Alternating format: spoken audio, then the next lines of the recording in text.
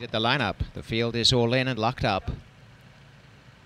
And the starter sends them away with on the outside tap the pistol, breaking the best from the extreme outside gate, joined by Mercer Island, who's sent to the front.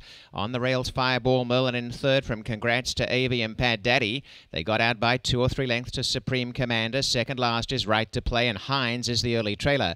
Mercer Island on the inside, joined by Tap the Pistol down the backstretch early on by two lengths to Fireball Merlin. A length away in fourth, Pat Daddy. Then Congrats to Avi, Supreme Commander tagging on now. A break of three to right to play, and similarly Hines three away last.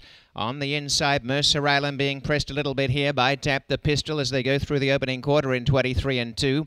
And they share the lead by three lengths to Fireball Merlin. Up the inside, Supreme Commander saving every inch of ground. Pat Daddy goes around them. Four lengths away, congrats to Avi. Second last, right to play, tapped up a little bit. And last of all is Hines, who's about eight lengths off this leader.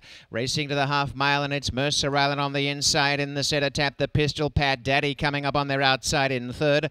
A length and a half, Supreme Commander has had a nice run on the inside. Then Fireball Merlin Hines has really started to come home very comfortably. Is still about five off as they corner. Pat Daddy, Mercer Island, Sherrod, and tap the pistol. The centre. Hines catching very good ground right behind horses. And now down the lane, Pat Daddy's gone on by Mercer Island, who's trying to fight back. Hines trying to run through with Supreme Commander, who came to the outside. And Mercer Island has kicked on. Hines looking for room in the centre is trying to get up. And down the outside, Supreme Commander and Pat Daddy. Mercer Mercer Island in front, and now Hines sees daylight. Is it too late?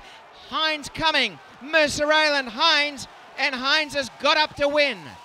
Just in the nick of time. Mercer Island second, then Supreme Commander and Pat Daddy.